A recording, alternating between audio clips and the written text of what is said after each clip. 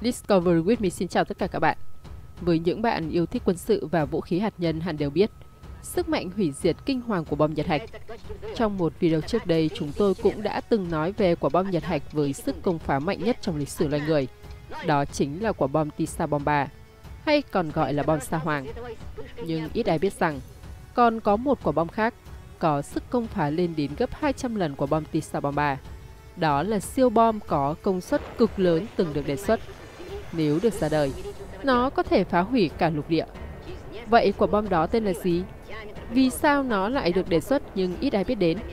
Mời các bạn đến với video hôm nay của chúng tôi để cùng tìm hiểu. Nhưng trước khi đến với nội dung chính của video, các bạn đừng quên đăng ký kênh để đồng hành cùng chúng tôi trên mỗi hành trình. Theo truyền thông Mỹ đưa tin, ngay sau khi thực hiện vụ nổ hạt nhân lớn nhất từ xưa đến nay trên đảo san hô Bikini ở Thái Bình Dương, Mỹ đã có kế hoạch nhắm tới một loại vũ khí lớn hơn, có công suất là 10.000 megaton, có sức công phá gấp 670.000 lần quả bom Mỹ đã ném xuống thành phố Hiroshima của Nhật Bản vào tháng 8 năm 1945. Lớn đến mức nó sẽ phá hủy một lục địa và đầu độc cả trái đất. Sức hủy diệt này mạnh gấp 200 lần của bom Tisa Bomba, hay còn gọi là bom sa hoàng, loại vũ khí hạt nhân lớn nhất, mạnh nhất từng được con người chế tạo. Nó có khả năng phá hủy cả một lục địa và làm ô nhiễm toàn bộ trái đất và không có bất kỳ giải pháp nào có thể khắc phục được. Nói cách khác, quét sạch cuộc sống ở mọi nơi. Vũ khí chưa có tên gọi này liên quan mật thiết tới nhà vật lý học người Do Thái gốc Hungary. Người phải trốn tránh Đức Quốc xã khi đế chế này trỗi dậy sang Mỹ, Edward Teller. Teller cũng là một trong những tác giả bức thư được ký bởi Albert Einstein, gửi cho Tổng thống Franklin Roosevelt, thúc đẩy chương trình hạt nhân của Mỹ trong Thế chiến thứ hai. Sau này, Edward Teller được điều đến làm việc, trở thành một trong những nhân vật chủ chốt của dự án Manhattan, giúp Mỹ phát triển bom H hay bom nhiệt hạch, có công năng mạnh hơn hàng nghìn lần so với bom nguyên tử truyền thống để đối đầu với Liên Xô trong cuộc chạy đua vũ khí hạt nhân.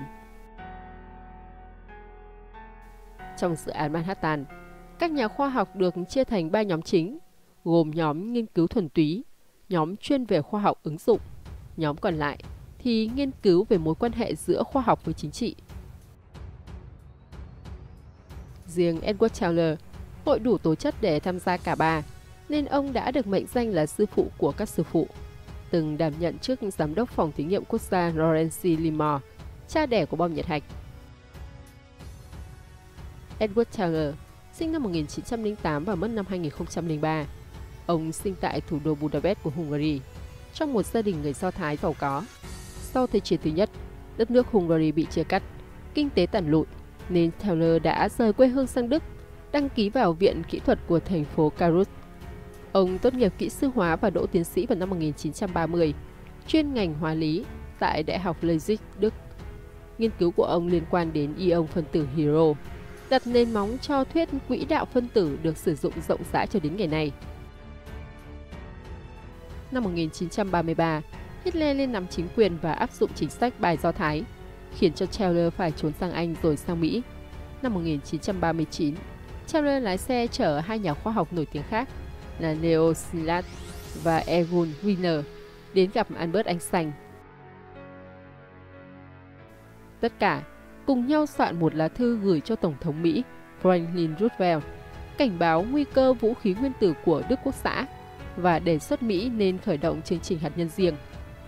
Điều này khiến cho dự án Manhattan năm 1942 ra đời, với mục đích chính là chế tạo vũ khí nguyên tử. Sau lần gặp anh sành, Taylor tham gia vào nhóm nghiên cứu của Enrico Fermi tại Viện Nghiên cứu Hạt nhân Quốc gia Đại học Chicago. Tại đây, cả nhóm thực hiện thành công phản ứng dây chuyền phân hạch đầu tiên trên thế giới. Năm 1943, chính phủ Mỹ bí mật thành lập phòng thí nghiệm Los Alamos trong khuôn khổ của dự án Manhattan. Đến tháng 7 năm 1945, nhóm nghiên cứu của Taylor đã chế tạo thành công quả bom nguyên tử đầu tiên, có tên là Gasget, và được thử nghiệm tại một sa mạc gần Alamogordo, New Mexico. Trong khi chế tạo Gasget, Teller đã nảy sinh ý tưởng về một loại bom hạt có sức công phá mạnh hơn, dựa vào phản ứng nhiệt hạch. Năng lượng của bom nguyên tử bắt nguồn từ phản ứng phân hạch của các nguyên tử lớn, nặng, chủ yếu là uranium, hay plutonium. Ngược lại, bom Hero lại có cơ chế hoạt động khác, dựa vào sự kết hợp của các nguyên tử nhẹ, chủ yếu là đồng vị Hero để trở thành helium, gần giống với lõi ngôi sao để kích hoạt phản ứng tổng hợp hạt nhân Hero nặng, deuterium, và giải phóng một năng lượng khổng lồ.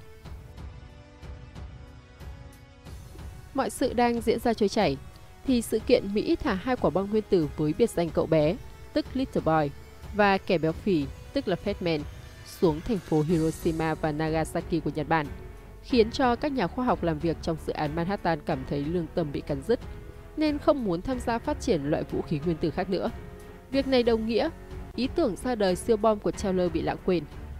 Mọi sự tái ồn ào trở lại khi Liên Xô thử nghiệm thành công quả bom nguyên tử đầu tiên vào tháng 9 năm 1949. Teller đã đề xuất dự án chế tạo bom hát với sức công phá gấp hàng nghìn lần của bom nguyên tử truyền thống để giúp Mỹ thắng thế trước Liên Xô trong cuộc chạy đua hạt nhân. Rất may, dự án này tiếp tục bị đa số các nhà khoa học thuộc AEC phản đối, kể cả chủ tịch AEC Robert Oppenheimer cũng không ngoại trừ với lý do tính khả thi của quả bom H.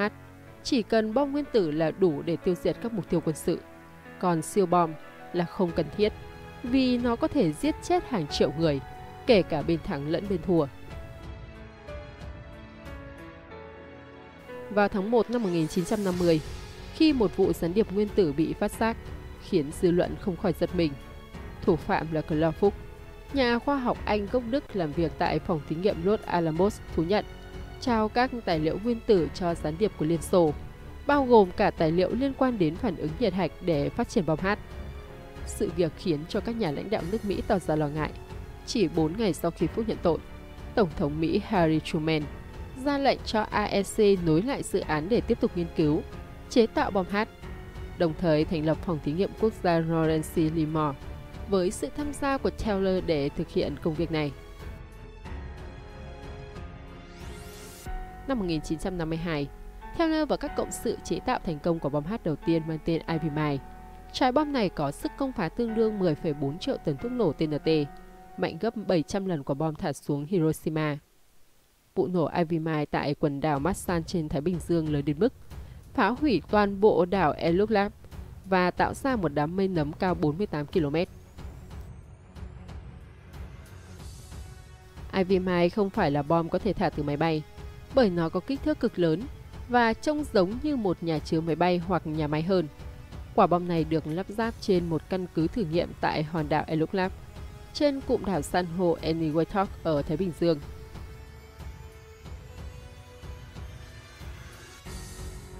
Phần chính của quả bom có chiều cao 6 m và chiều rộng là 2 m, bao phủ là lớp vỏ thép dày đến 30 cm và có trọng lượng 56 tấn. Để ngăn nguyên liệu chính là deuterium hóa lỏng, một đồng vị của hero bốc hơi. Người ta sử dụng đến 18 tấn dung dịch làm lạnh. Tổng khối lượng của quả bom Ivy là khoảng 74 tấn.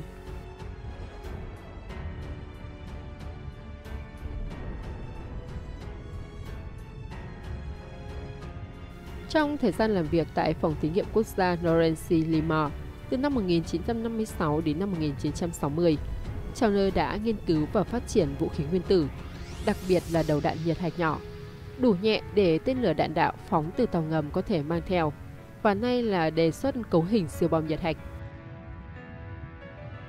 Trong Thế chiến thứ hai, khi đang chế tạo bom nguyên tử, Chandler và một số nhà khoa học khác đã hối thúc Tổng thống Mỹ cho ra đời siêu bom có công suất lớn hơn nhiều so với vũ khí nguyên tử đầu tiên. Thiết kế hiện đại của tất cả các loại vũ khí nhiệt hạch ở Mỹ được gọi là cấu hình Taylor Ulam, đặt theo tên của hai nhà khoa học tiền bối của loại bom này, đó là Edward Teller và Salah Ulam. Quả bom mạnh nhất trong lịch sử là bom sao hoàng như đề cập ở trên, có sức công phá tương đương 57 triệu tấn thuốc nổ TNT do Liên Xô chế tạo. Với dòng siêu bom này, Edward Teller và Salah Ulam hy vọng. Trong khi bom nguyên tử chỉ nhắm tới khoảng 10 đến 15 kiloton năng lượng, thì siêu bom đề xuất có thể đạt ngưỡng 10 đến 15 megaton.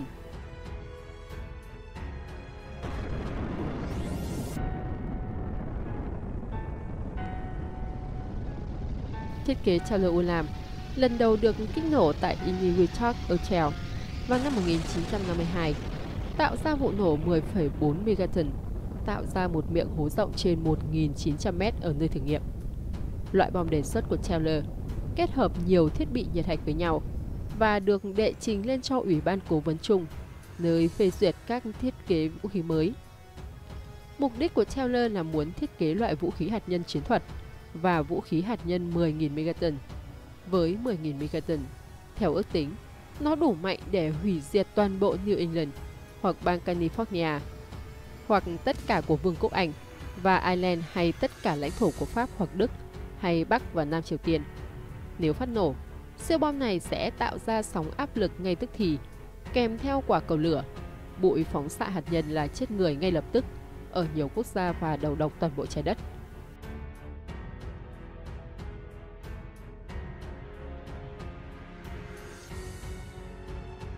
Nó mạnh gấp 100 lần so với những trái bom nguyên tử đã từng được con người biết đến.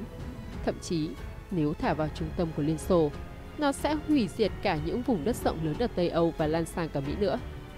Rất may, siêu bom này mới chỉ là đề xuất trên giấy, chưa một tổng thống Mỹ nào dám phê duyệt, nên dư luận đã thở phào, như thể vượt qua một trận đại hồng thủy giả định. Quả thật, nếu quả bom này ra đời trên thực tế, thì có lẽ tính mạng của con người trên toàn hành tinh lúc nào cũng như ngàn cân treo sợi tóc đúng không các bạn? Video của chúng tôi hôm nay cũng xin được kết thúc tại đây. Mọi ý kiến đóng góp xây dựng kênh các bạn vui lòng bình luận bên dưới video để chúng ta cùng thảo luận. Chúng tôi luôn mong muốn nhận được những góp ý chân thành của các bạn để kênh ngày một hoàn thiện hơn, đáp ứng tốt hơn nhu cầu thông tin của khán giả.